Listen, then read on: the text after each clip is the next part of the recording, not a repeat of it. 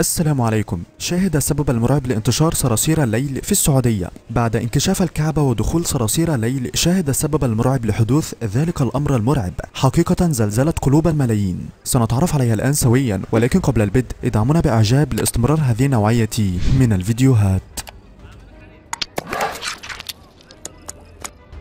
تفاجأ الكثير من رواد المسجد الحرم وملايين المسلمين حول العالم بانكشاف ستارة الكعبة المشرفة بسبب العواصف الشديدة على المشاعر المقدسة وهذه العاصفة أدت إلى فك المقابض المذهبة التي تشد هذه الستارة فوق الكعبة قبل القيام بتغييرها.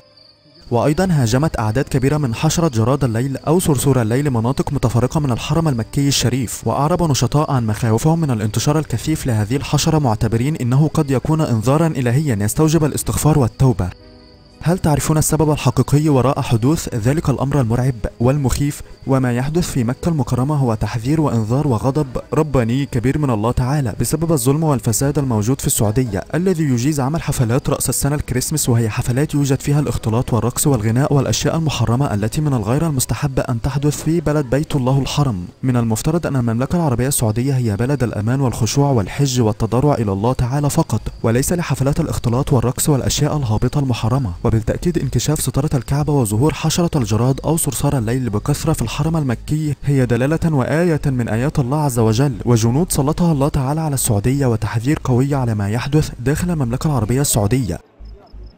هل تتذكرون حادث الفيل الذي انتقم الله منهم بطير أبابيل؟ وهذا الطير كان جندي من جنود الله تعالى. هذا الحادث تكرر الآن بالجراد وانكشاف كسوة الكعبة. وهذا الجراد جندي من جنود الله تعالى وتحذير قوي من الله تعالى وتعتبر آية قوية من آيات الله تعالى. بعدما دخلوا عليها المغنيين والراقصين الديوثين ونجسوا مدينة رسول الله صلى الله عليه وسلم فابتلاهم الله تعالى بجندي من جنوده. حيث قال الله تعالى فأرسلنا عليهم الطوفان والجراد والقمل والضفادع والدم آيات مفصلات فاستكبروا وكانوا قوما مجرمين. وهذا أيضا دلالة على انتشار الفساد بين العرب وهذا الخلاف بين العرب دلالة على اقتراب الساعة. شكرا لكم على متابعة الفيديو ولا تنسوا الإعجاب به والاشتراك بالقناة.